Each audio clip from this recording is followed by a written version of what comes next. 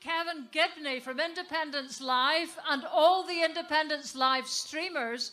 While we've been here, there has been a mixed stream going out across the world from all the streamers who have been uh, trained and brought on over the years by a broadcast outfit that has had no state or any other kind of support at all. So please let's hear a big, big up for Independence Live.